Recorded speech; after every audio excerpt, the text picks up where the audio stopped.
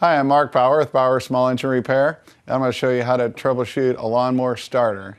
This is a this is called a recoil starter. It's it's a manual starter.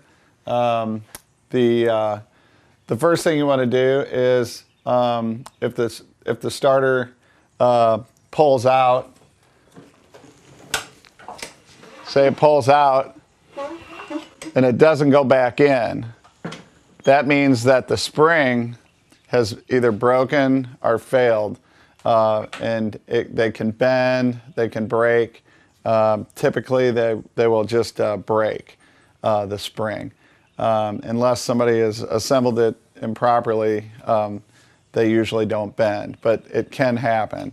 Uh, so if the rope won't go back in, you know the spring's bad. The other thing that happens is this starter, it has engagement pawls, which most do. Uh, some people call them starter dogs, but they're, they're, uh, the correct terminology would be the starter pawls. And these pawls are what engage into the cup that turns the engine over. The cup is attached to the flywheel and it actually turns the engine over when you pull the rope.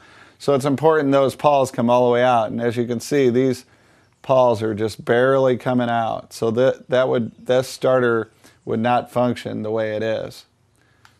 So you want to make sure the pawls are coming out and then the spring will be, uh, or the spring uh, is good. And the way you know that is if the rope retracts. Uh, the other thing is you, if the ropes break, and that's pretty obvious when the rope is broken or frayed, um, you can um, replace the rope uh, simply by pulling the rope all the way out. The other thing you want to check is at that pulley, this is your starter pulley, the part that rotates, is not warped. If it, if uh, for whatever reason uh, the, the had uh, debris underneath the mower that jammed the blade up and, and a person forcefully pulled on this, having the blade uh, jammed up, then it would it could possibly warp this pulley. And when that happens, it will, it will rub this housing and it won't retract. And that's how you troubleshoot a lawnmower starter.